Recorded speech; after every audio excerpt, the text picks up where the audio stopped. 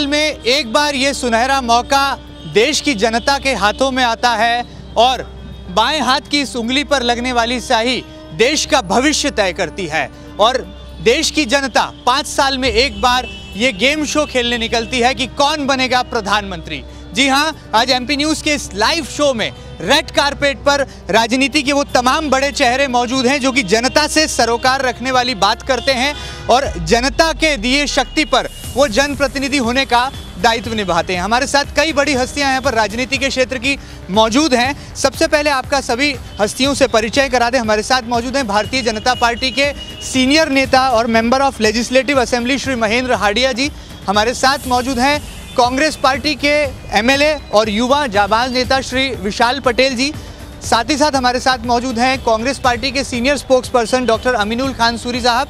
हमारे साथ मौजूद हैं जितेंद्र वैद्य जी, जो कि आबू धाबी में भारतीय जनता पार्टी के लिए काम करते हैं। एक जिम्मेदार नागरिक होने की भूमिका निभाते हैं। हमारे साथ मौजूद इंदौर विकास प्राधिकरण के पूर्व संचालक श्री राजेश उदावत जी।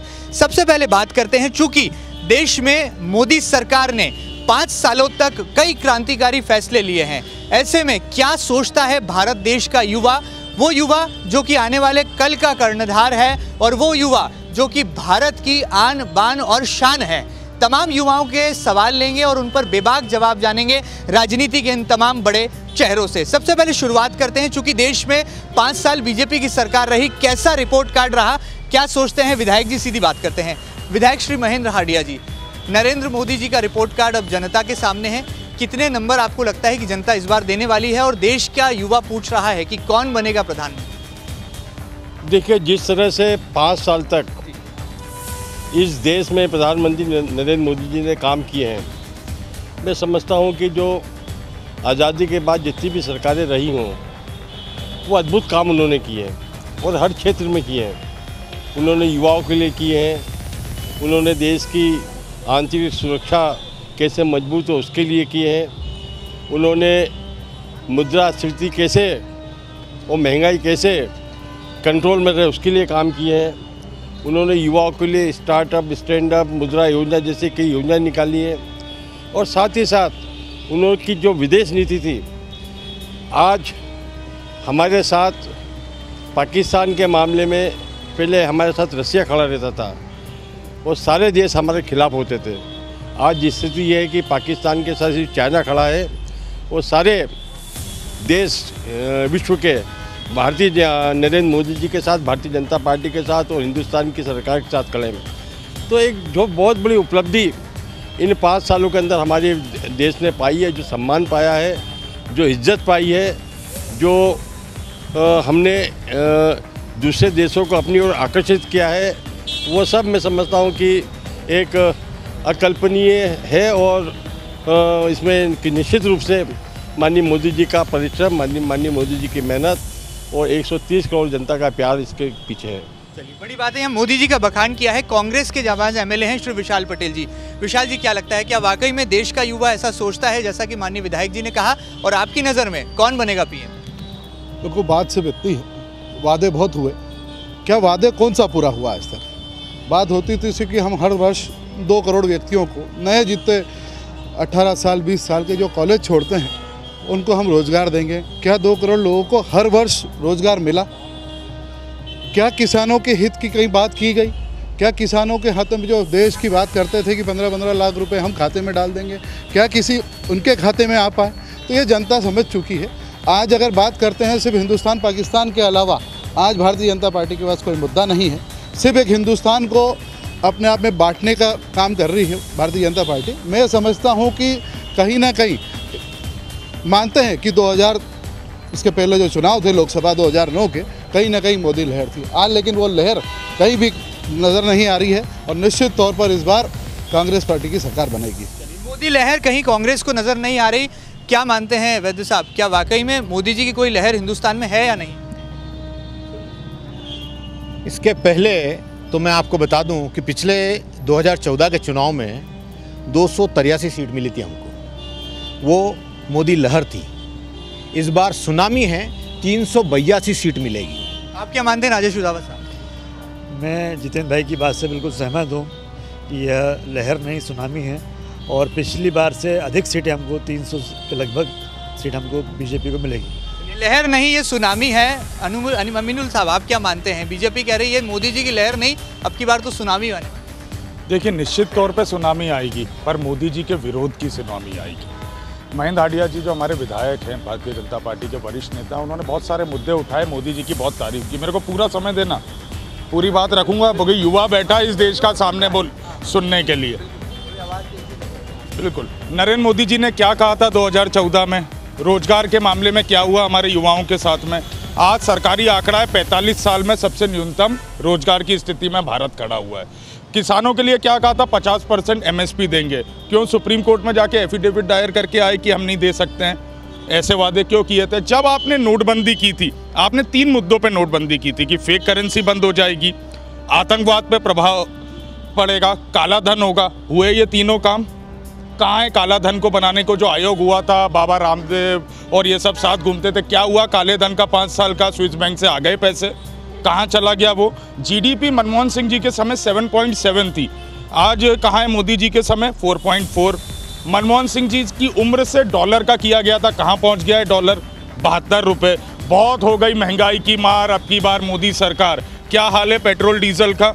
पेट्रोल डीजल पे कितना लिया जा रहा है? ओएनजीसी का कैश रिज़र्व कहाँ पहुँच गया है? नौ हज़ार एक सौ बासठ करोड़ से। मेरा भी खत्म नहीं हुआ, पूरा बोलूँगा।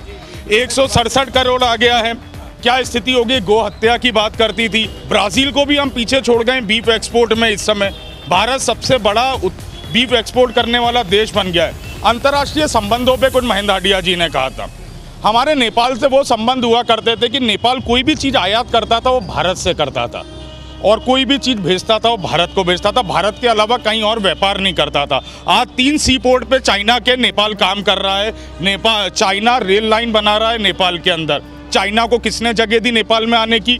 किसकी कूटनीतिक और विदेश नीति फेलियर है? एक मिनट एक पूरा नहीं मैं सारे सवाल पूछ रहा हूँ पूरे जवाब देगिएगा ये मेरे सारे सवाल हैं मुझे सबके जवाब चाहिए क्योंकि इस देश का युवा सुन रहा है। युवा पूछेगा सवाल। श्रीलंका में हमम बोटा पोर्ट है। श्रीलंका से हम हमेशा डील करते थे। चाइना आज हमम बोटा पोर्ट तक पहुँच गया है। किसकी फेलियर है ये? आप बताइए शिक्षा के क्षेत्र में कांग्रेस 4.77 परसेंट केंद्रीय बजट का देती थी। आज तीन दशमलव चौवालीस हो गया जबकि इन्होंने छः परसेंट जीडीपी का क्षेत्र शिक्षा के क्षेत्र में बोला था। अरे क्या युवाओं से न्याय करोगे जब उनके शिक्षा का ही पैसा आप कम कर रहे हो? पूछ लेते हैं। शिक्षा का पैसा क्या वाकई में कम हुआ है? आप क्या मानते हैं? नहीं नहीं ऐसा बिल्कुल भी नहीं है। शिक्षा के क्षेत्र में शिक्षा के क्षेत्र में भारत ने बहुत बड़ी छलांग लगाई है। आज की तारीख में हर युवा गर्व करता है अपनी भारत की शिक्षा पे। लोग जो बाहर जाते थे पढ़ने आज पलट के भारत में आ रहे हैं लौट के। दूसरा एक और उदाहरण देना चाहूँगा। कौन ऐसा प्रधानमंत्री है जो यूएस जाके सैनिटाइजेशन पे सफ़ाई पे बात करता है? आज भारत में पाँच सालों में 12 से 13 करोड़ टॉयलेट बने हैं। पिछले पिछले 55 से 60 साल में 12 से 13 करोड़ टॉयलेट बने हैं। आज ये कंपैरिजन देख लीजिए गति देख लीजिए नरेंद्र मोदी जी के काम करने की। सर। क्या विधायक जी आपके मन की बात क्या? देखिए करोड़ों लोगों को मुद्रा योजना के अंदर करोड़ों लोगों को स्टैंड अप स्टार्ट योजना के अंतर्गत माननीय मोदी जी ने लोन दिलाया है। वो खुद अपना व्यापार कर रहे हैं। व्यापार के साथ साथ दूसरों को भी नौकरी का काम दे रहे हैं। इतना बड़ा करोड़ों लोगों को रोज़गार देने का काम आज तक किसी प्रधानमंत्री ने नहीं किया। कितने करोड़ खाते जो कांग्रेस भाई भाई करती थी ना, आज बोल हम सीधे खाते में भेजेंगे। अरे वो खाते तो भारतीय जनता पार्टी ने खुलवाए मेरे भाई। वो खाते तो तुमने आज तक सत्तर साल में कभी खुलवाए नहीं। तुमने तो वादा किया था किसानों से कि तुम्हारे दो लाख के लोन माफ़ कर देंगे। अरे किसी का लोन माफ़ हुआ क्या भैया? ये तो बताओ, भारतीय जनता पार्टी ने सॉइल टेस्ट किसानों के उत्पादन क्षमता बढ़ाने के- दिशा में काम किए हैं। भारतीय जनता पार्टी ने 2022 तक डेढ़ गुना लागत मूल्य से किसानों को मिले, इसके लिए काम किए हैं। भारतीय जनता पार्टी के पूर्व मुख्यमंत्री माननीय शिवराज सिंह चौहान ने किसानों का गेहूँ खरीदा किसानों का प्याज खरीदा किसानों के प्याज सड़ने नहीं दिया। आज क्या बात है? क्या बोल रहा है किसान प्याज? जो कांग्रेस के लोग कभी प्याज की बोरी लेकर आंदोलन क्या करते थे आज वो सब कहाँ है? पूछ लेते हैं। विधायक जी के मन की बात सुन ली अब आपकी मन की बात भी सुनना ज़रूरी क्योंकि आप कांग्रेस के विधायक हैं। मैं सिर्फ़ ये पूछना चाह रहा हूँ कि लोग कहते हैं कि कर्जा माफ़ नहीं हुआ।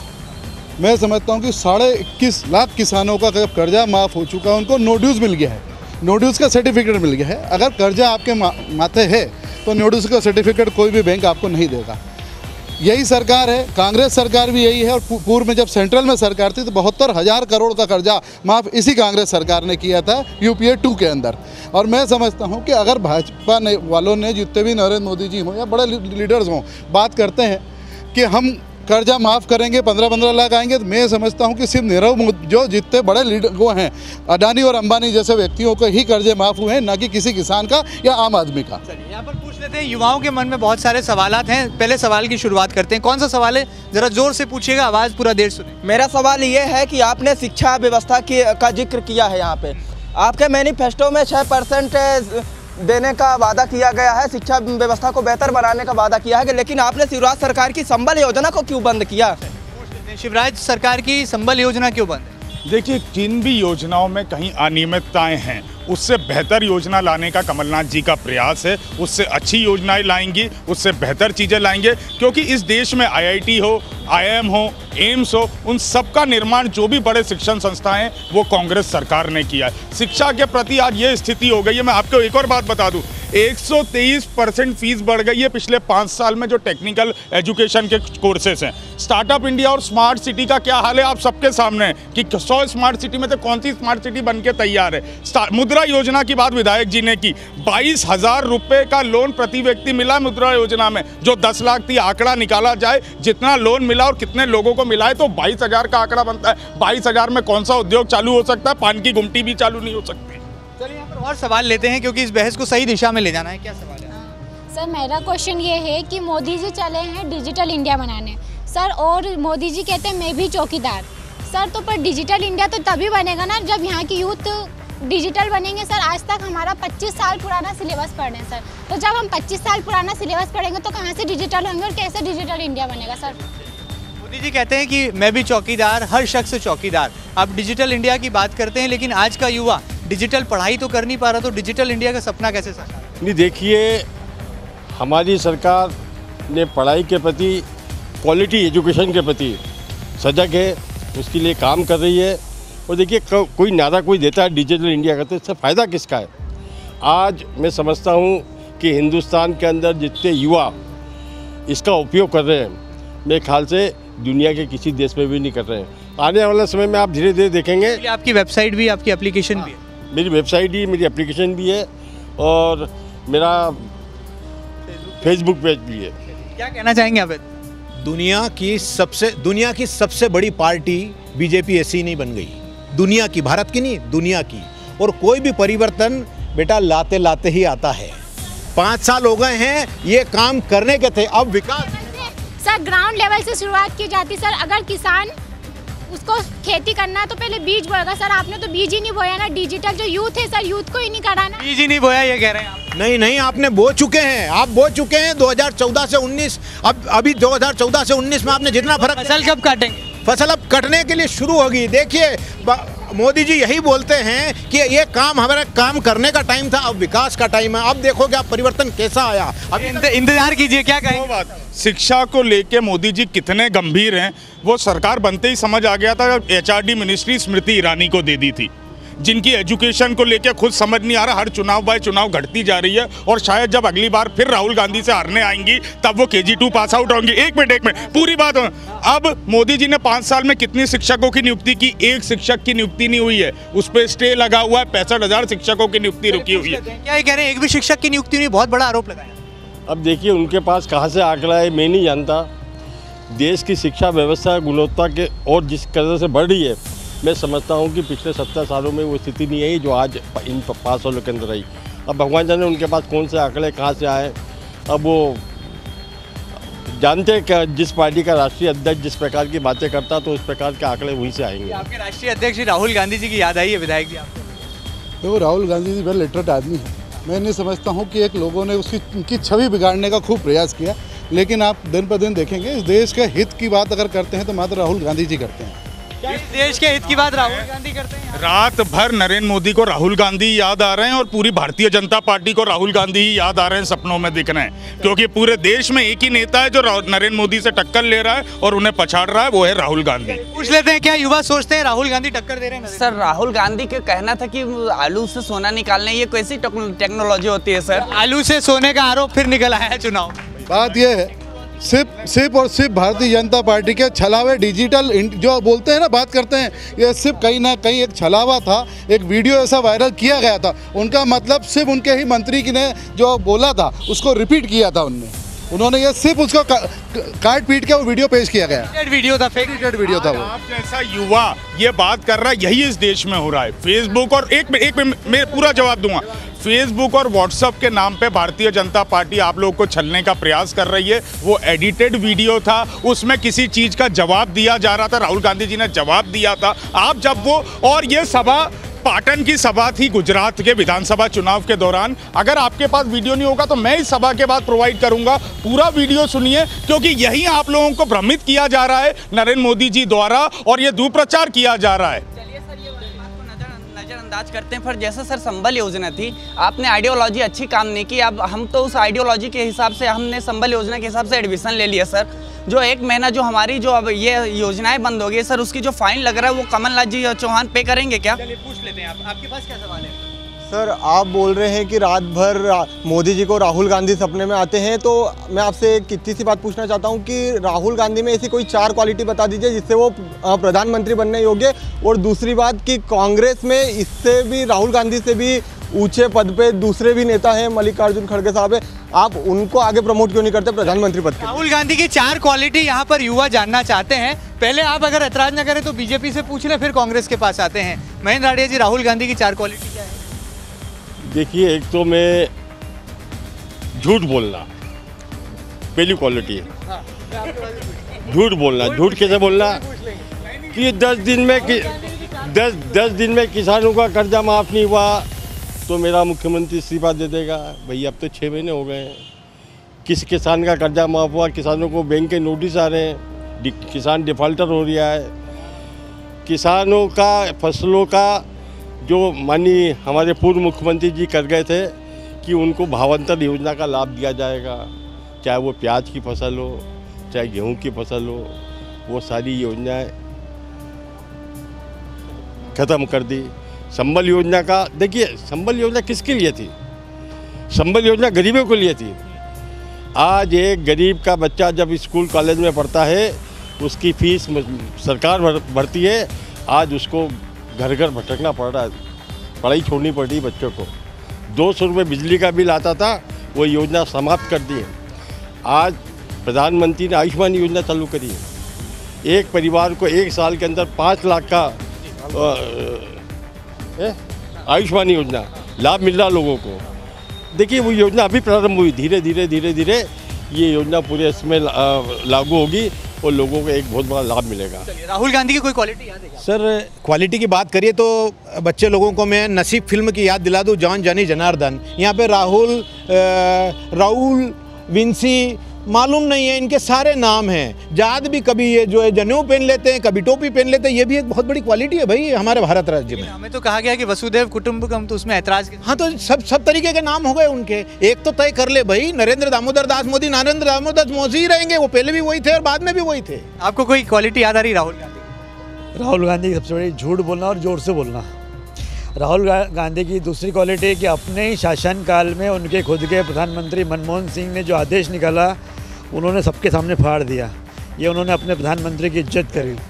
तीसरी क्वालिटी जो उनमें है कि वो अपनी पार्टी का जो विकास करना चाहिए, उसके बजाय वो विनाश करते जा रहे हैं। वो जितना ज़ोर से बोलते हैं, जितना भाषण देते हैं, उतना वो भारतीय जनता पार्टी की वोट बढ़ाते चलते हैं और कांग्रेस की वोट कम करते जाते हैं। चौथी क्वालिटी उनकी जो ये है कि उन्होंने जो जैसा न- भैया ने बताया कि वो तय तो करे कि वो राहुल है कि राहुल है क्या है? जनेऊधारी है तिलकधारी है कि है क्या? चलिए राहुल की क्वालिटी से बात जाति तक आ गई है। विधायक जी राहुल गांधी की चार क्वालिटी आज का युवा जानना चाहता है। मैं तो ये पूछना चाह रहा हूँ कि जिस प्रकार से जो आरोप लगे बताया कि राहुल गांधी जी कभी टोपी पहन लेते हैं कभी पहन लेते हैं तो क्या नरेंद्र मोदी जी ने कभी नहीं पहनी? क्या नरेंद्र मोदी जी दूसरे धर्म को नहीं जानते हैं? क्या इस दे इस देश में इस इस देश में गलत होता है? और रही बात रही बात अभी इससे पहले भी कई बात होती है। बहुत सारे आरोप लगते हैं। हम तो तीन महीने, चार महीने हुए हम लोगों को सरकार में आए हुए मध्य प्रदेश के अंदर। हमसे सवाल पूछे जा रहे हैं। रही बात एक संबल योजना की, बच्चों ने भी ये बहुत अच्छा सवाल किया। कहीं ना कहीं उसमें एक छोटी त्रुटियाँ हैं। कहीं ना कहीं हम लोगों के हिसाब से, पार्टी के हिसाब से, जनहित के हिसाब से जो त्रुटियाँ हैं, उन चीज़ों को कमी कर, कमी पूरी कर कर हम निश्चित तौर पर इस चुनाव के बाद वो योजनाएँ, उससे अच्छी योजनाएँ जनहित के हम लेके आने वाले हैं। राहुल गांधी की चार क्वालिटी देखिए राहुल गांधी जी सत्य के साथ हैं। जहाँ पे भी उनको लगता है चाहे उनकी पार्टी में है कहीं भी है जहाँ गलत है उसको बोलते हैं। देश के हित की बात करते हैं देश के युवा का सोचते हैं खुद युवा हैं देश को आगे बढ़ाने का उनका स्वप्न रहता है। प्रधानमंत्री बनने का अगर राहुल गांधी जी का सपना होता तो वो कब के प्रधानमंत्री बन गए होते? उन्होंने इस देश का सोचा है देश के बारे में सोचा है। और सबसे बड़ी बात कथनी और करनी में अगर अंतर देखना है तो नरेंद्र मोदी और राहुल गांधी में अंतर देखिए। क्या कहते हैं क्या करते हैं मोदी जी को? दूसरे सीनियर लीडर्स क्यों नहीं आते? गांधी परिवार ही क्यों जो है शासन करना चाहता है राज का अगर परिभाषा तीन बार बने मात्र अगर गांधी परिवार की अगर आलोचना की जाती है और बोलते हैं आप लोग तो मैं समझता हूँ कि अभी तक के जितने प्रधानमंत्री बने, मात्र तीन बार गांधी परिवार बना है। ऐसा नहीं है कि सिर्फ़ गांधी परिवार ही दिखता है। पिछली बार भी दस साल लगातार मनमोहन सिंह जी रहे हैं यहाँ। ऐसा नहीं है। अगर क्षमताएँ हैं उनमें हमको लगता है हम लोगों को भी लगता है और आम जनता को लगता है तेईस तारीख को फैसला आप लोगों के बीच में होगा। निश्चित तौर पर आपको पता लगेगा कि कितनी क्वालिटी उनमें। है बहुत सारे युवा हैं जो कि बेसब्री से इंतज़ार कर रहे हैं। क्या क्या सवाल हैं आपके? पहले आप फिर आपके पास जी सबसे पहला सवाल तो मेरा नाम नितिन मोहन ढेरिया है और मैं छिंदवाड़ा मूलता छिंदवाड़ा से हूँ। पिछले छिंदवाड़ा से हैं ये? जी मैं छिंदवाड़ा से हूँ। पिछले छः साल से मैं छात्रों के बीच में सक्रिय हूँ। यहीं पे मेरी पढ़ाई चल रही है। आप जहाँ पे वैश्विक स्तर पे आप जो अपने मुख्यमंत्री की जो अपनी अच्छी अच्छी क्वालिटीज़ गिना रहे कि हमने कर्ज माफ़ी करे, ये बात करें एजुकेशन सिस्टम का सबसे बड़ा नेगेटिव आउटपुट तो मैं हूँ कि छिंदवाड़ा, सिवनी, नरसिंहपुर और बालाघाट चार ज़िले मिलाकर के वहाँ पे शैक्षणिक संस्थान एक भी प्रबल नहीं है। वहाँ के छात्रों को 80 प्रतिशत छात्र बाहर आता है। और रही बात सबसे पहले तो मेरा सवाल है कि आप विधायक महोदय यहाँ पे मौजूद है तो आपके मुख्यमंत्री से ये प्रश्न ज़रूर कीजिएगा कि उतने क्षेत्र के जो उनके खुद के गृह क्षेत्र के लोग हैं, वो ये प्रश्नावली उनके मन मस्तिष्क में ज़रूर उठती तो ये चीज़ ज़रूर रखिएगा। और दूसरी चीज़ बात रही कि जब हम मैं तो पाँच साल की पच्चीस योजनाएँ गिना दूँगा आप सत्तर साल की पाँच गिना दीजिए। यहाँ पर ये पूछना चाह रहे हैं कि छिंदवाड़ा जो कि मुख्यमंत्री जी का गृह जिला है वहाँ पर कोई शिक्षण संस्थान नहीं है इसलिए इंदौर आना पड़ रहा है तो जवाब दीजिए। मैं समझता हूँ कि पहली चीज़ तो सरकार आज बनी है। पंद्रह साल से बीजेपी की सरकार थी। अगर शैक्षणिक संस्थान खुलना होते तो भी नहीं खुलने देते वो लोग। तो मैं समझ यहाँ तो ठीक है। आप शिवराज सिंह जी के यहाँ चले जाएँ। बुधनी में कितने शैक्षणिक योगदान खुले योजनाएँ खुली हुई है? कितने लोगों को रोज़गार मिला है? चलिए यहाँ पर बीजेपी से पूछ लेते हैं। छिंदवाड़ा जो कि मुख्यमंत्री जी का गृह जिला है बच्चे का आरोप है स्टूडेंट है उनका कहना है कि वहाँ को शिक्षण कांग्रेस पार्टी बड़े बड़े दावे करती है कि छिंदवाड़ा में बहुत विकास किया। मैं नहीं कर रहा मैं नहीं बोल रहा हूँ। वही करते हैं। तो ये सच्चाई सबके सामने क्या विकास हुआ छिंदवाड़ा का? मतलब आरोप नहीं सच्चाई आगे साहब हाँ बिल्कुल सच्चाई है आरोप में उनके। चलिए अगला सवाल यहाँ पर ले लेते हैं और बहुत सारे युवा हैं। आप क्या जानना चाहेंगे? भाई साहब ने कहा कि नरेंद्र मोदी जी की सरकार आई और स्मृति ईरानी को शिक्षा मंत्री बना के स्तर गिरा दिया तो मध्य प्रदेश के अंदर अभी सरकार आई। और यहाँ कमलनाथ ने ऐसी महिला को मंत्री बनाया जो 26 जनवरी का संदेश भी नहीं पढ़ सकते इमरती देवी की बात कर रहे हैं, महिला एवं बाल विकास मंत्री जी का एक वीडियो वायरल हुआ था सोशल मीडिया पर। माननीय प्रवक्ता जी, थोड़ी सफ़ाई देना तो यहाँ पर बनती है। देखिए, सफ़ाई मंत्री जी स्वयं दे चुकी हैं। इमरती देवी जी जिस वर्ग से आती हैं, जनता ने उन्हें इतनी बार चुन के विधानसभा में पहुँचाया है। वो स्मृति ईरानी की तरह किसी की कृपा से कहीं दूसरे अपर हाउस से नहीं आई हैं। इतनी बार से लगातार दबरा से वो विधानसभा का चुनाव जीत रही हैं। उनको कुछ तकलीफ़ थी, उन्होंने आधा पढ़ा और कलेक्टर को पढ़ने को कहा। मेरा विषय शिक्षा मंत्रालय से था। स्मृति ईरानी के मंत्री पद से नहीं था कि वो शिक्षा के प्रति नरेंद्र मोदी कितने गंभीर हैं। वो किसी ऐसे व्यक्ति को देते कि शिक्षा के स्तर को बढ़ता भारत के युवाओं को मौका लगता। कि स्मृति ईरानी क्यों चुना जिनकी खुद की शिक्षा का स्तर नहीं मालूम कि किस स्तर तक वो शिक्षा में ये भी तो महिला एवं बाल विकास मंत्री हैं इमरती देवी। निश्चित तौर पर बहुत अच्छा काम कर रही हैं। आज आपके सामने रिज़ल्ट है। तीन महीने के अंदर इमरती देवी ने बहुत अच्छा काम करके दिखाया है। पहली उपलब्धि क्या है? सैनिटरी को लेके काम किया है सबसे पहले। पूछ लेते हैं क्या वाकई में महिला एवं बाल विकास मंत्री काम कर रही हैं? आप क्या सोचते हैं? देखिए सैनिटेशन की बात करें वो तो हमारे प्रधानमंत्री नरेंद्र मोदी जी की देन है। तो कह रहे हैं स्वच्छ भारत मोदी जी लाए। स्वच्छ भारत मोदी जी लाए और यहाँ पे हर नागरिक ने काम किया। अगर ऐसा था तो बनारस को कोयटा बनाने की बात करते थे इंदौर नंबर वन क्यों बना? बनारस क्यों नहीं बना? बनारस आज तक क्वेटा क्यों नहीं बना? ये इंदौर की जनता का भी योगदान है इसे स्वच्छ करने में। पूरे भारत के 500 से ज़्यादा शहर हैं सब नंबर वन क्यों नहीं है? क्योंकि सारे शहर मोदी जी के हैं प्रधानमंत्री इस देश के हैं सिर्फ़ इंदौर को ही उन्होंने बढ़ाया। विदेशी मेहमान हैं आप क्या मानते हैं? आप विदेश से हिंदुस्तान की सरजमी पर आते हैं तो इंदौर ही नंबर वन क्यों है? सर एक बात तो मैं बता दूँ कि आज की तारीख में पाँच सीट पे ही नरेंद्र मोदी चुनाव लड़ रहे हैं ये आम जनता जानती है। नरेंद्र मोदी चुनाव लड़ रहे हैं। दूसरी बात दूसरी बात इन्होंने बोला अभी सिर्फ़ तीन चार महीने हुए सरकार को आए। मैं जब यहाँ से भारत छोड़ के गया था तब लाइट जाती नहीं थी आती थी कुछ समय के लिए। मैं जावरा से इंदौर पाँच से छः घंटे में आता था। आज मैं ढाई घंटे में आता हूँ। लेकिन तीन महीने में सबको एहसास हो गया कि हमने क्या गलती कर दी। ये गलती अब मध्य प्रदेश की जनता रिपीट नहीं करेगी। ये कह रहे हैं कि जनता ने गलती कर दी कांग्रेस को चुनकर। क्या वाकई में आरोप सही है माननीय विधायक विशाल पटेल? अगर ऐसा होता तो इस मध्य प्रदेश और राजस्थान और छत्तीसगढ़ में सरकार कांग्रेस की नहीं बनती। आम जनता समझ चुकी है। छल और लोगों को बरगलाने के जो वादे लोगों ने किए थे, भारतीय जनता पार्टी ने। मैं समझता हूँ कि यहाँ तीन जगह अगर सरकार बनी है तो निश्चित तौर पर कहीं ना कहीं आम जनता को पता लग गया है कि कथनी और करनी में क्या फ़र्क है। बहुत संक्षिप्त।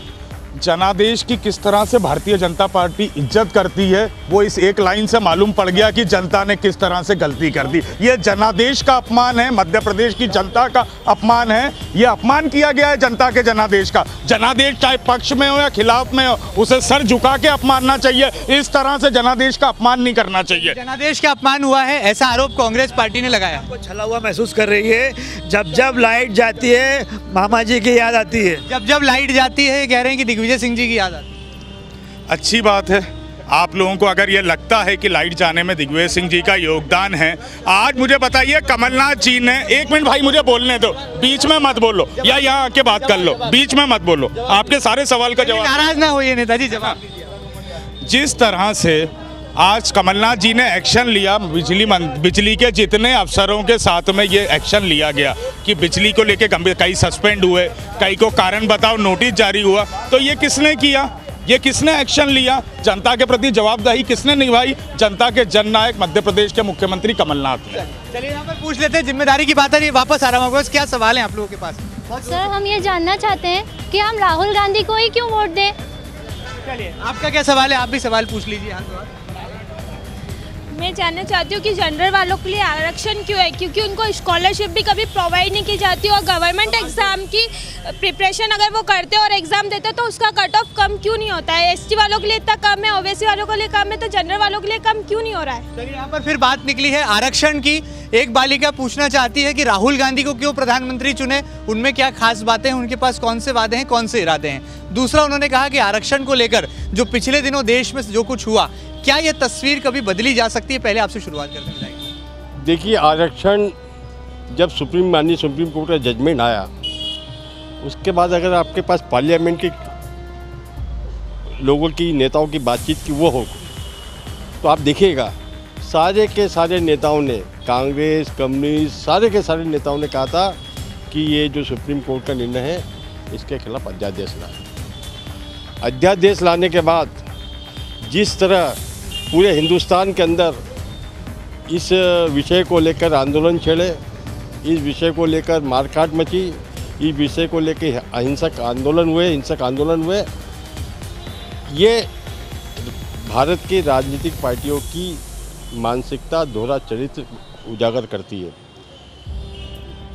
माननीय मोदी जी ने इसके विपरीत उन अगले लोगों को जो वास्तव में आर्थिक रूप से कमज़ोर हैं उनके लिए संविधान में, देखिए, बहुत ऐतिहासिक, हिंदुस्तान के अंदर दो या तीन ही बार ही इतने बड़े संविधान संशोधन हुए हैं। जितना, जितने, जितना महत्वपूर्ण ये ये ये, इन पर, नहीं पूछे इसके अंदर। तो ये जो दस परसेंट आरक्षण दिया, इससे किसको लाभ होगा? उन अगले लोगों को, गरीब बच्चों को लाभ होगा जिनकी आर्थिक स्थिति ठीक नहीं है। जो पढ़ाई करना चाहते हैं जो नौकरी में आरक्षण चाहते हैं ऐसे लोगों को लाभ होगा। चलिए यहाँ पर आरक्षण पर सफ़ाई आ गई लेकिन राहुल गांधी का सवाल अभी बाकी है। अमीरुल साहब पहले आपसे उन्होंने कहा कि राहुल गांधी में ऐसी क्या खास बात है क्या वादे हैं क्या इरादे हैं क्यों वोट दें? पहले भी स्पष्ट कर चुका हूँ कि राहुल गांधी जी और नरेंद्र मोदी जी का जो बात है वो कथनी और करनी का अंतर है। नरेंद्र मोदी जी ने 2014 में जितने वादे किए, उसमें से एक वादा पूरा नहीं किया, जनता के साथ में ठगाई की। राहुल गांधी जी ने चाहे यूपीए की सरकार थी, हमने नरेगा हम लाए मनरेगा हम लाए राइट टू एजुकेशन हमने बोला था राइट टू फ़ूड हम लेके आए। ये सारे वादे हमने पूरे किए, जनता के बीच में जो चीज़ें लेके आए राइट टू इन्फॉर्मेशन कांग्रेस की देन है, जो पिछली यूपीए सरकार में, इस बार हम न्याय लेके आए हैं। गरीबी को मिटाने की बात की है।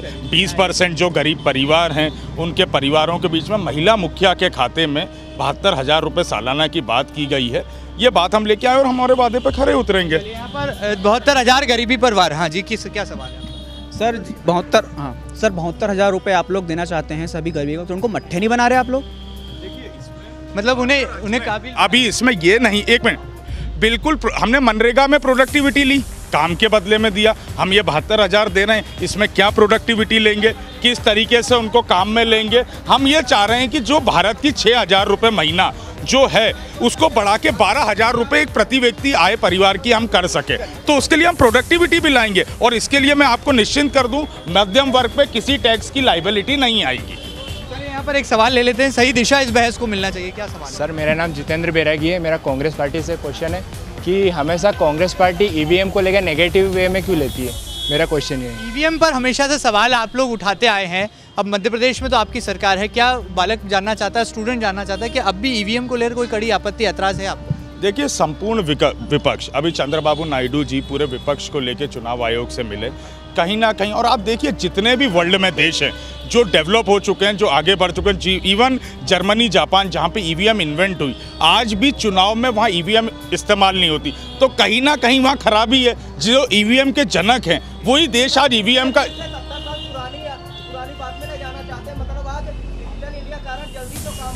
डिजिटल इंडिया के दौर में आप बैलेट की बात करेंगे थोड़ा सा बेमानी लगती है ऐसी युवा सोच। पर अमेरिका जर्मनी फ्रांस जापान ये गलत कर रहे हैं। चलिए पूछ लेते हैं क्या बैलेट पेपर से चुनाव होने चाहिए यहाँ पर कांग्रेस अभी पक्षधर है। ईवीएम जब तीन राज्यों के चुनाव जीते थे तब बहुत अच्छा था। जब से इन्होंने वापस से शुरू किया ईवीएम पे सवाल इसका मतलब हार स्वीकार होना शुरू हो गई है। बटन दबाने से कोई ऐतराज? ये देखिए अरविंद केजरीवाल सारी सीट जीतते हैं। सिक्सटी सेवन तीन भारतीय जनता पार्टी जीतती है। ईवीएम अच्छी थी। चंद्रबाबू नायडू वहाँ के मुख्यमंत्री बनते हैं। ईवीएम अच्छी थी। यहाँ तीन राज्यों में कांग्रेस की सरकार बनती ईवीएम अच्छी थी। जब उनको लगा कि हमारी नैया डोल रही है तो उन्होंने पूरा ठीकरा मोदी को ढोलते ढोलते आधा मोदी पे आधा ईवीएम पे ढोला है कि हम ईवीएम के कारण हारेंगे मतलब हार का कारण उन्होंने अभी से खोज लिया है। कि हम क्यों चुनाव हारेंगे? क्या ईवीएम पर आपको भी विधायक जी कोई आपत्ति है क्या? क्योंकि अब तो सरकार आपकी बनी इसी ईवीएम पर बटन दबाकर जनता ने आपको मैं खुद भी जीता हूँ। मैं तो सिर्फ़ एक सवालों का जब ईवीएम की बात आती है तो आपने खुद ने चीज़ प्रमाणित की हुई है पहले भी। रही बात मेरे यहाँ मेरे यहाँ मैं खुद सजग था मैं खुद पढ़ा लिखा हूँ। हर चीज़ को मैंने वॉच किया है पर्टिकुलरली अगर आप खुद सजग नहीं होते हो तो निश्चित तौर पर कहीं भी गड़बड़ी हो सकती है। लेकिन इस मध्य प्रदेश के अंदर कहीं ना कहीं आपने देखा होगा जिस दिन वोटिंग हुई वोटिंग के बाद मशीनें गायब हुई, लोग होटलों के अंदर पाए गए। क्यों वो उस समय गाड़ियाँ, गाड़ियों के अंदर रखी गई और क्यों वह बाकायदा सीधे लॉकर रूम के अंदर क्यों नहीं जाती गई? चलिए, बड़ी बड़ी बात है। यहाँ पर युवा संतुष्ट होगा, ऐसी उम्मीद की जा सकती है। अगला सवाल क्या है? मेरे मैं अब ये पूछना चाहता हूँ कांग्रेस से कि आप चौकीदार चौकीदार चिल्लाते हैं रात दिन आपके राहुल गांधी बोलते हैं चौकीदार चोर है चौकीदार चोर है। पैंसठ साल पहले आपकी सरकार थी पैंसठ साल से। आप सोने की चिड़िया बना सकते थे इस हिंदुस्तान को। मगर आप बोलते पाँच साल में सोने की चिड़िया ये बना देगी मोदी। मगर पाँच साल में विकास मोदी ने जो अगर आप पैंसठ साल में भी कर सकते तो आप चौकीदार चोर आपके पास सबूत है कुछ? चौकीदार चोर है तो क्या इस बात का सबूत है? आपके पास ये युवा जान सोने की चिड़िया हिंदुस्तान यूँ ही पहले ही कहा जाता था। और नोटबंदी के बाद और काला काला धन। जो जो सवाल उनने किया उसकी बात कर रहा हूँ। मैं उसी का जवाब दे रहा हूँ जो उनने सवाल मांगा है उसका जवाब दे रहा हूँ मैं कि सोने की चिड़िया हिंदुस्तान कहा जाता था और लेकिन सोने की चिड़िया को इस जब नोटबंदी हुई और काला धन इस हिंदुस्तान के अंदर वापस नहीं आया तो अपने आप कहीं ना कहीं ये चीज़ सामने आ गई है कि इस हिंदुस्तान के अंदर कथनी और करनी में क्या फ़र्क है और क्या नरेंद्र मोदी और क्या राहुल गांधी में फ़र्क है। क्या चौकीदार चोर है युवा देखिए, नीरव मोदी को लोन तुम दो, लोन पे लोन तुम दो। सारे जितने विदेशी भगे आप उनकी इतिहास उठाएँगे तो आपको मालूम पड़ेगा कि उनको कांग्रेस के शासन में लोन मिला। अब हमारा देश का प्रधानमंत्री चौकीदार उनकी संपत्ति जब्त कर रहा है, उनको हिंदुस्तान लाने की कोशिश कर रहा है, उनको इंग्लैंड की जेल में बंद करा रहा है। और देखिए, एक ना एक दिन भारत उन सारे भगोड़ों के धरती, दो तीन को तो ले आए वो कौन से मामा हैं? उनको मिशल मामा तो आ गए जेल में वो। ये भी आ, बाकी आना बाकी धीरे धीरे करके सब आएँगे। और जो बैंक का पैसा इन्होंने लिया है सारा का सारा पैसा इनको देना पड़ेगा। ये बात बिल्कुल सत्य नरेंद्र मोदी किसी आदमी को छोड़ेगा नहीं। क्या आप भी चौकीदार हैं? सर। मैं तो चौकीदार हूँ सबसे बड़ा चौकीदार हूँ और चौकीदार चोर है इन्होंने तीस हज़ार करोड़ पे बोला। एक दिन पहले राहुल गांधी ने इंडियन एक्सप्रेस में जो है इंटरव्यू दिया इंटरव्यू करने वाले ने पूछ लिया तीस हज़ार करोड़ का फिगर कहाँ से आया? बोले मुझे नहीं पीएम चिदम्बरम को मालूम है। तो भाई आप भी चौकीदार हैं? मैं भी चौकीदार हूँ और मैं इस बात को बिल्कुल भरो, भरोसे से कह सकता हूँ। एक बड़ी बात निकल कर आई। क्या बोल रहे चौकीदार है लेकिन हम बेरोजगार हैं और पूरा युवा बेरोजगार है। आप लोगों ने आप लोग क्या करते हो? बदजुबानी चौकीदारी के अलावा आप लोगों ने कुछ नहीं किया है। सिर्फ़ हम चौकीदार हैं हम चौकीदार हैं। मौन मनमोहन मतलब आपस में बदजुबानी करते रहते हो। एक क्या है ये सब? हम ये कह रहे हैं कि आप चौकीदार हैं बेरोजगार इन पाँच सालों में जो पचास साठ साल के गड्ढे थे देखिए सत्तर साल इस देश में आज़ाद हुए हुए। ग्यारह साल भारतीय जनता पार्टी के दो प्रधानमंत्री अटल बिहारी वाजपेयी जी, नरेंद्र मोदी जी। उनसाठ साल कांग्रेस ने राज किया। आज अगर उनसाठ सालों में कांग्रेस ने युवाओं के लिए, किसानों के लिए, महिलाओं के लिए काम किया होता तो आज हमारी सरकार ना होती।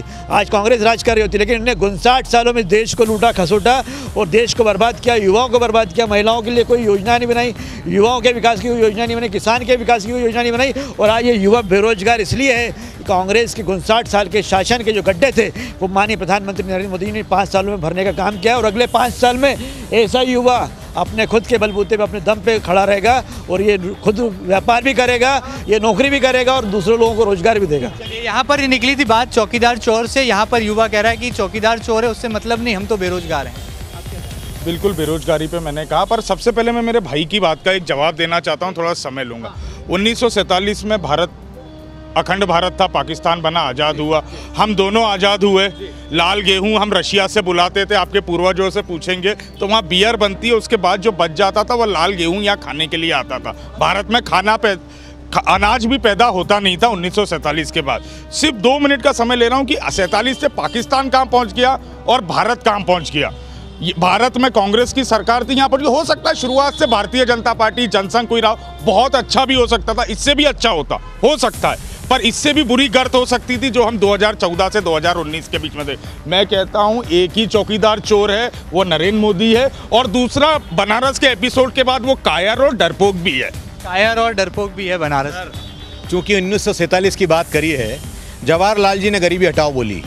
उसके बाद में उनकी बेटी ने गरीबी हटाओ। उसके बाद उनके बेटे ने गरीबी हटाओ। अब पोता भी यही कह रहा है। तो पहले ही देते थे पता बहत्तर हज़ार। अब क्यों इतना समय क्यों लगा दिया फिर? थोड़ी नई बहस को नया जन्म देते हैं क्या बताइए क्या सर मेरा क्वेश्चन भारतीय जनता पार्टी और कांग्रेस दोनों से है कि अगर इन लोगों की सरकार आती है तो सर बेरोजगारी के क्षेत्र में ये लोग क्या रणनीतियाँ हैं इनकी ये मुझे बताएँ। बेरोजगारी कैसे दूर करेंगे? अगला सवाल क्या मोदी जी बोलते थे काला धन देश के बाहर से लाएँगे लेकिन अब तक काला धन नहीं आया उसका क्या हुआ? काले धन का हिसाब मांग रही है जनता बेरोजगारी पर बात कर रही है और कोई सवाल है। सर भारतीय जनता पार्टी से मेरे दो सवाल है। पहला सवाल मेरा ये है कि भारत की आबादी में 35 करोड़ लोग एक समय का खाना खा के सो रहे हैं वो भी हिंदू है। क्या यही राष्ट्रवाद है? क्या यही हिंदूवाद है? और आप जब से पार्टी बनी है एक सीट से लेकर राम मंदिर बनाएँगे बनाएँगे बनाएँगे हर बार वोट लेते हो फिर सो जाते हो। तो मेरा कहने का मतलब है अगर असली हिंदूवादी हो जब आप तीन तलाक पे अध्यादेश ला सकते हो तो राम मंदिर पे क्या प्रॉब्लम है? आप बताइए। मंदिर वही बनाएँगे लेकिन तारीख नहीं बताएँगे ये पुराना सवाल है। फिर एक बार निकल आया है। मैं चाहता हूँ कि विधायक जी इस पर जवाब दें। अगर इस देश के अंदर राम मंदिर कोई बनाएगा तो भारतीय जनता पार्टी की सरकार में बनेगा। एक बात निश्चित समझ लीजिए आप। दूसरा, राम मंदिर बनाने के अंदर, लगातार सुप्रीम कोर्ट के अंदर कौन पार्टी गई? कौन लोगों ने इसमें अड़- अड़ंगा अड़ाया? कपिल सिब्बल किस पार्टी के नेता हैं? नहीं, देखिए। नहीं, देखिए देखिए। देखिए देखिए, ये कांग्रेस ने ही राम सेतु को, अस्तित्व को नहीं स्वीकार किया।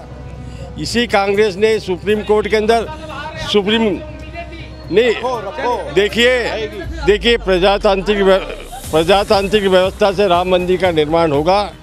Supreme court, high high high high court में अपन जीते हैं। सुप्रीम कोर्ट से भी अपने पक्ष में निर्णय आएगा।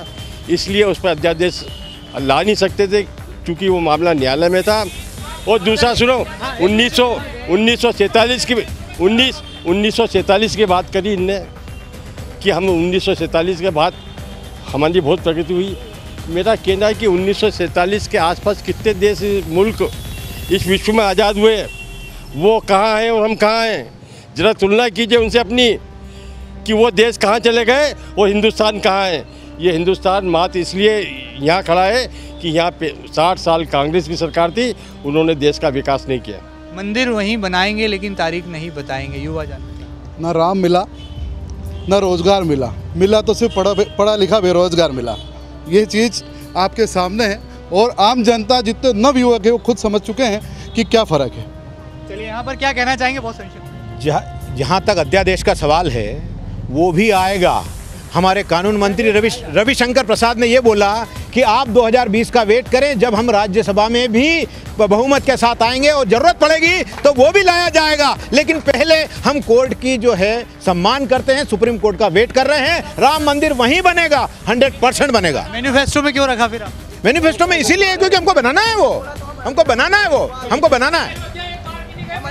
मोदी पाँच साल में नहीं गए। कब बताइए तारीख? पेपर कटाए अयोध्या कब पहुँचे? मंदिर गए क्या वहाँ आठ दिन पहले अयोध्या गए वहाँ मंदिर से ऐतराज किया उन्होंने दूरी बनाई। मामला न्यायालय न्यायालय में विचाराधीन है और इसलिए जब मंदिर बनाने जाएँगे धूमधाम से जाएँगे दो हज़ार कीजिए देश की जनता।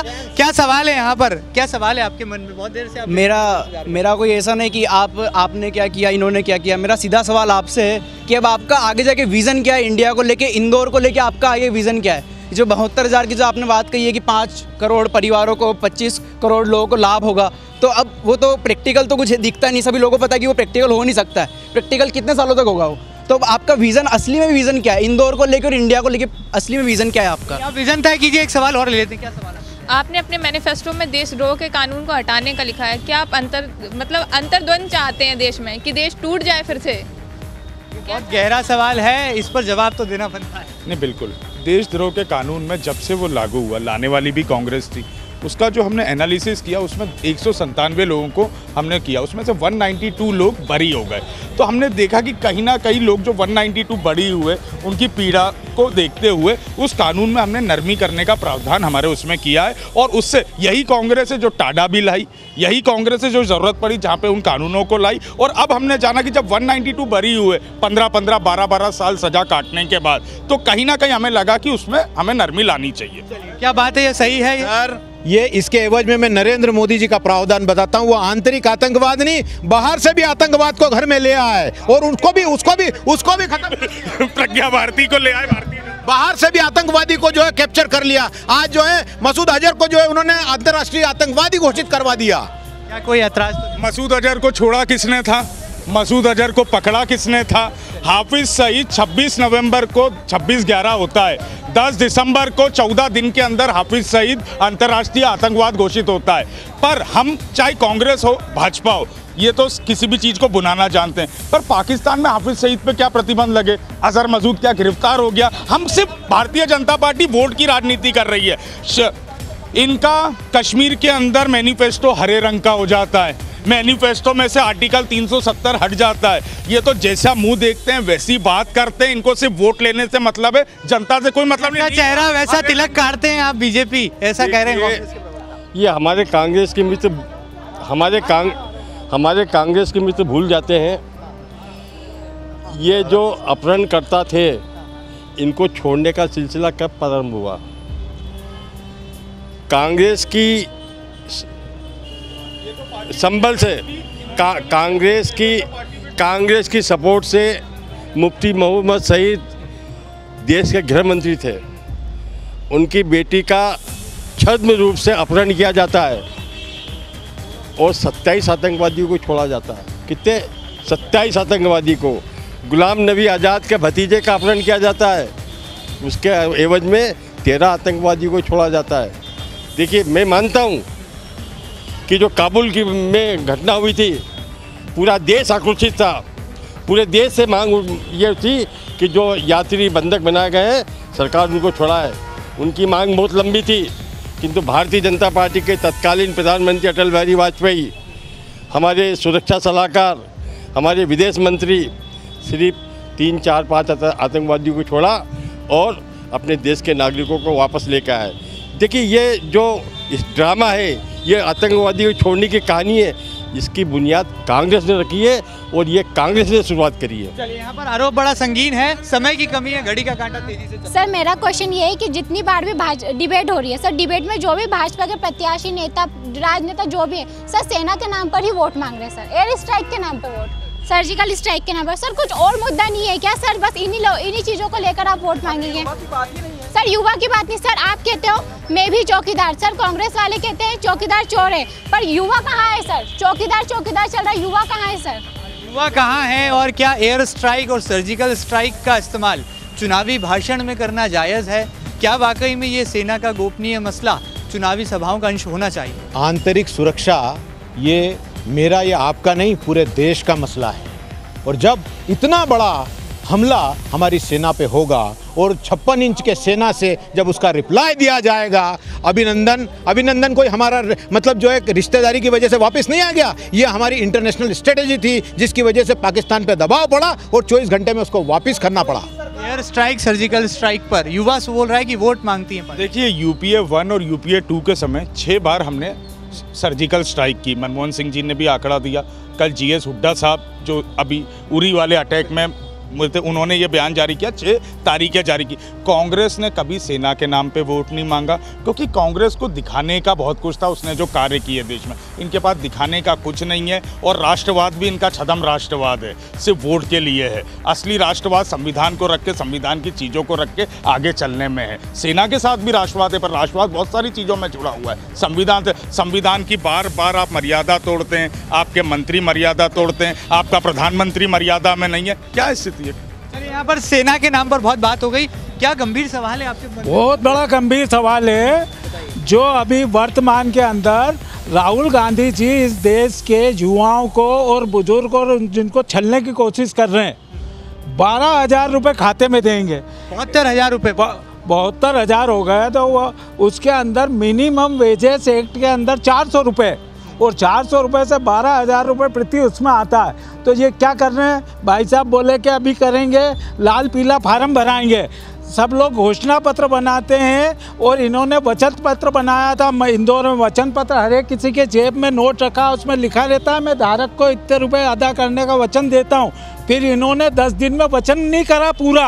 और लाल पीले हरे फार्म भरवा रहे हैं अभी हाल भी ये किसानों का भी नहीं हुई, यहाँ पे नहीं हुई इनकी। जी, जी। और मिनिमम वेजेस एक तो है ही है। उसके अंदर ये कौन सा नया कर रहे हैं बोल के बता दें। इससे कम का तो कोई प्रमाण पत्र दे ही नहीं सकता है कोई भी एम्प्लॉयर एम्प्लॉयर देगा कैसे इसका प्रमाण? यहाँ पर ये सवाल है बहत्तर हज़ार गरीबी पर वार लेकिन एक सवाल युवा पहले मैं एक बात रखना चाहूँगा कि आप बोलते हैं सेना पे राजनीति क्यों नहीं कर अगर आप माँ बाप बेटे भाई धर्म खानदान जाति इन सब पे राजनीति कर रहे हो तो सेना प्रशासन पुलिस न्यायपालिका ये भी एक सरकार का ही अंग है। आप बिल्कुल इस पे राजनीति कर सकते हैं ये आप सवाल क्या आपका सवाल और सवाल ये है कि कांग्रेस जो 133 साल पुराना इतिहास रखती है आज वहाँ की नवनियुक्त महासचिव ये बोल रही है कि हम वोट काटने के लिए लड़ रहे हैं तो आपको इतना भी भरोसा नहीं है कि आप सरकार बना लोगे? चलिए चलिए यहाँ पर एक सवाल और ले लेते हैं। दो सवाल बड़े गंभीर आए मैं कांग्रेस के भाइयों से ये बोल पूछना चाहता हूँ कि इन्होंने मनरेगा ला करके पहले अनपढ़ों को मक्कार बनाया।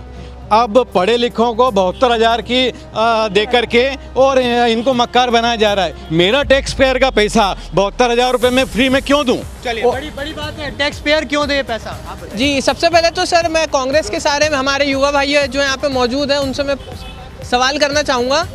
कि जो हमारे कांग्रेस के बंधु यहाँ पे मौजूद हैं, उनसे मैं पूछना चाहूँगा कि जब हमारा देश जो विश्व के सबसे ज़्यादा युवाओं की संख्या वाला युवा देश कहता है, जहाँ पे सर्वदल मतदाता के लिए मतदाता जागरूकता के लिए काम कर रहे हैं, आपकी सरकार मध्य प्रदेश शासन में अभी है, वर्तमान में? आपके जो मुख्यमंत्री कमलनाथ जी है, मैं उनसे खड़ा ये सवाल पूछना चाहूँगा कि जब वोटिंग की सारी डेट्स थे अलग अलग चरण थे तब मध्य प्रदेश के सारे जितने भी क्षेत्रीय और रीजनल यूनिवर्सिटीज़ थी सभी के जो एग्ज़ाम कंडक्शन का जो समय था ये इसी समय में क्यों हुआ? जब आ, एक दूर आप जब मतदाता जागरूकता का संदेश दे रहे हो दूसरी तरफ़ उसी दिन में स- उनका आप एग्ज़ाम कंडक्ट करा रहे थे। चलिए दो दो तीन बड़े सवाल हैं। गरीबी पर वार बहत्तर हज़ार। ये दो सवाल निकल गए देखिए कांग्रेस ने अपने वचन पत्र में एक बात और कही थी। कि हम प्रदेश के हर बेरोजगारों को चार हज़ार रुपये बेरोजगारी भत्ता भत्ता देंगे। किसको दिया? कोई मिला किसी? बेरोजगारी भत्ता किसी को मिला ये पूछना चाह रहे हैं विधायक ये देखिए ये ये ऐसे ये ऐसे ऐसे ऐसे वचन ऐसे ऐसे वचन पत्र इन, इन्होंने बनाए हैं। किसानों का कर्जा माफ़ करेंगे नहीं हुआ। बेरोजगारी भत्ता नहीं मिला युवा पूछ रहे हैं विधायक जी ने आरोप मैं सिर्फ़ ये पूछना चाहता हूँ कि दो सौ तिरासी हम लोगों ने वचन दिए थे उसमें से तिरासी हमने पूरे किए। हर एक वचन पूरा होगा क्या कांग्रेस के पाँच साल पूरे हो चुके? हैं मात्र चार महीने हुए हम लोगों को पूरे हुए। एक एक हर एक व्यक्ति कोई भी आदमी घर में रहता है अगर अचानक मेहमान घर में आ जाए तो ये समझो कि हाथों हाथों खाना बनता नहीं है बनने में भी टाइम लगता है। तो हम निश्चिंत रहें एक एक वचन पूरा होगा। इंतज़ार कीजिए एक एक वचन पूरा होगा। पैंसठ साल और पाँच साल का वही तो हाल है। पाँच साल में क्या कुछ हो सकता है सर? जब पैंसठ साल में चलिए ये पंद्रह साल बीजेपी का राज था। आगे बहुत बहुत अच्छी बात बोली भाई साहब आप हाँ बताइए। ये पाँच साल हमने जो काम किया है उसके फ्रूट सब आएँगे और आप विकास देखेंगे। कीजिए क्या? 2014 में से लगाकर 2019 हो गए। एक भी वादा पूरा हुआ एक के भी खाते में पंद्रह पंद्रह लाख आएगा। यहाँ तो हम तो चार हज़ार ही देने के बाद पंद्रह लाख आएगा किसी के खाते में? विधायक जी पूछ रहे हैं। पंद्रह लाख मेरा जवाब नहीं दिया। मेरे टैक्स पेयर का बहत्तर हज़ार में क्यों दिया जा रहा? है ये पूछना चाह रहे हैं कि टैक्स पेयर का पैसा भी क्लियर कर चुका हूँ किसी भी टैक्स पेयर के पैसे से बहत्तर हज़ार रुपये नहीं जाए आपको बहत्तर हज़ार मैं जवाब देता हूँ जवाब देता हूँ। भारत की टोटल इकोनॉमी है थ्री ट्रिलियन समझ लो। पहले सुन, सुन आपने प्रश्न किया था तो समझना। सुनने का प्रश्न भी रखो सर। जवाब जवाब जानिए आप। जवाब भी आप देखिए पहली बात भारत की टोटल इकोनॉमी है थ्री ट्रिलियन डॉलर की जिसका बहत्तर हज़ार में पैसा लग रहा है one percent of the total economy ये इच्छा शक्ति का सवाल है पैसा सिर्फ़ एक परसेंट लगना है। पर उसको जनरेट करना और ये कांग्रेस बेहतर रूप से जानती है। हमारे पास बड़े से बड़े इकोनॉमिस्ट हैं सी रंगा राजन साहब ने मिलकर ये बनाई है। रघुराम राजन उसमें थे मनमोहन सिंह है चिदम्बरम साहब हैं। जिन रघुराम राजन को आपने आरबीआई का गवर्नर बनने लायक भी नहीं छोड़ा और एक बीए पास को बिठा दिया उन लोगों ने मिलकर बनाई है। आज आरबीआई बीए पास चला रहे हैं। विधायक जी कुछ कहना चाह रहे हैं आपकी बात? देखिए देश की इकोनॉमी कांग्रेस बहुत बहुत अच्छी तरह जानती है। Two G four G Colgate. में मैं मैं मैं। अभी यहाँ सजा एक भी प्रकरण में एफआईआर दर्ज हुई हो पाँच साल में। ये जिन्होंने 2013-14 में आरोप लगा जो बोलोगे वो करने को तैयार हूँ। कह रहे जो बोलोगे वो कर जो जो कांग्रेस की जो जितनी इकोनॉमी ये लोग समझते ना उतना उत- उतना देश में कोई नहीं समझता। कोर्ट में मामले मुकदमे चल रहे हैं। जी पी चिदम्बरम चिदम्बरम हुई पाँच साल में एक भी जी एक भी एफआईआर नहीं है। रिपोर्ट नहीं हुई है। कोर्ट में केस कोर्ट में केस किस बात का चल रहा है भैया? टू जी थ्री जी में विनोद राय ने रिजेक्ट हो गया। बयान नहीं मानने का अरे बेल पे किस लिए भाई? बेल पे बेल पे किस लिए है? गांधी परिवार बेल पर है। वो हमारे लिए। नेशनल हेरिटेज पराक्रम का मामला है नेशनल हेराल्ड का जो मामला है ये लोग क्या जानेंगे? आज़ादी में नेशनल हेराल्ड का क्या योगदान रहा है? जिन आरएसएस और भारतीय जनता पार्टी के लोगों ने आज़ादी में एक व्यक्ति खड़ा नहीं रहा नेशनल हेराल्ड वहाँ पे लड़ा है स्वतंत्रता के सेनानियों के लिए लड़ा है और राहुल गांधी सोनिया गांधी जी नेशनल हेराल्ड के लिए जेल भी जाएँगे तो उसके लिए तैयार है क्योंकि वो आज़ादी का मामला है। हमारी स्वतंत्रता कीजिए यहाँ पर। आखिरी बात कहना चाहूँगा आखिरी बात कहना चाहूँगा नहीं या तो आप पब्लिक से पूछ लिए अगली सरकार किसकी सरकार? मोदी सरकार। यहाँ पर अगली सरकार किसकी? सरकार ये देश की जनता तय करेगी लेकिन इतना ज़रूर तय है कि बहस बहुत गर्म थी मुद्दे बहुत तरोताजा थे। इंतज़ार कीजिए जो फ़सल अब आप आने वाली तारीख को वोट के साथ बोएँगे आने वाले पाँच साल में आपको काटना है। तेईस मई की तारीख तय करेगी देश की अगली दशा और दिशा। आखिर क्या होगी? Over to studio